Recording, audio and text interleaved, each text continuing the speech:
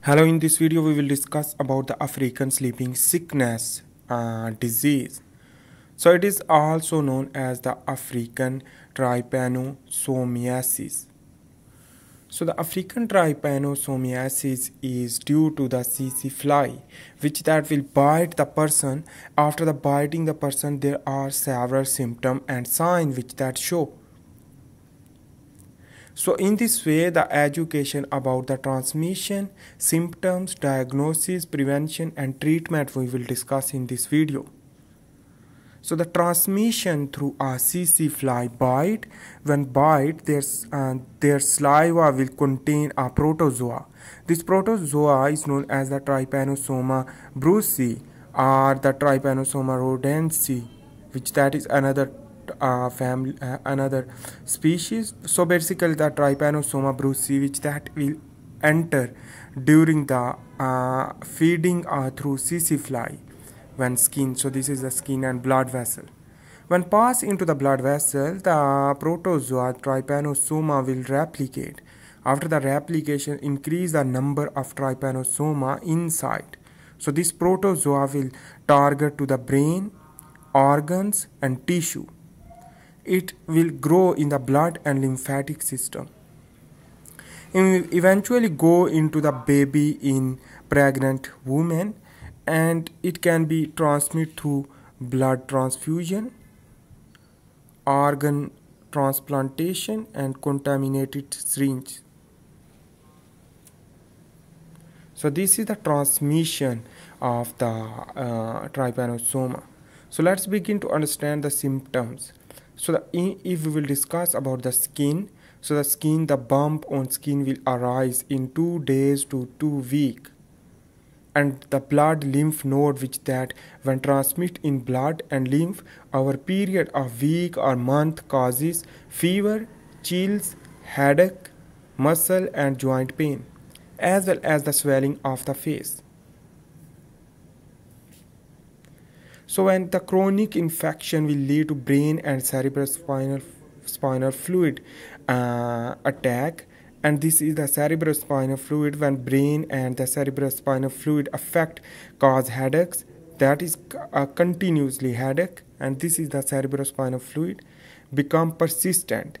And the problem in walking and balancing and drowsiness worsens fall asleep in middle or activity and work. Between the work uh, we can sleep without any understanding.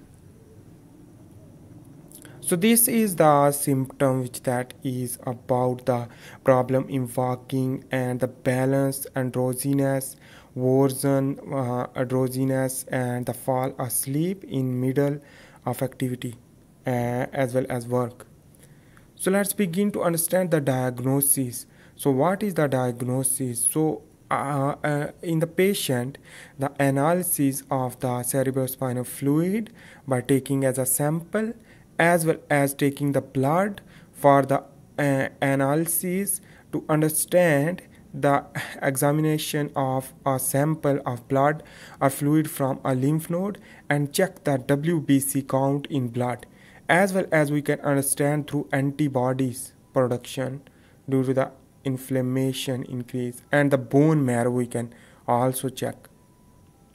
So if the if the test will be positive so we go into the treatment and in this way if infection not spread to the brain and cerebrospinal fluid so we can treat differently. If the uh, infection spread to the brain and cerebrospinal fluid. In this way the in this way we can treat differently with different drug. So how to use this treatment?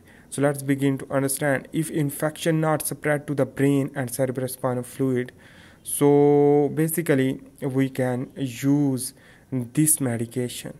This is the suramin for rhodesiensis and the uh, pentamidine which that is the um, preferred for gambiense. This is the two type of species which that is related to the same genera and in this way here is the injection into muscle or intravenously which that we can inject on muscle or intravenously. We will discuss also what is the intravenous on the other hand, the fexinidazole is sometimes used for trypanosoma brucei gambiense infection in Africa. On the other hand, let's begin to understand the intravenous vein. The intravenous vein here is the heart, which that is show the pulmonary artery and pulmonary vein a right atrium to left atrium and right uh, ventricle and left ventricle. And also the pulmonary artery and showing in the figure. And the vein which that is showing the blue color. While the artery which that is showing the red color.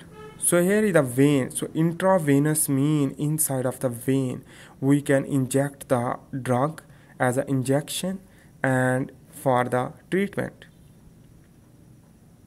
So anyhow Let's begin to understand if the infection spread into the brain and cerebrospinal fluid, if infection will be severe. In this way, if the infection spread into the brain and cerebrospinal fluid, so the uh, um, uh, basically is the um, Miller melarsoprol Miller soprol and if aflori eflornithine only for gambiense and the nifurtimox in Gambia, uh, combination with less frequent doses of the fluorinethine and intravenously we can inject this type of the drug. And this was the african sleeping sickness. So thanks for watching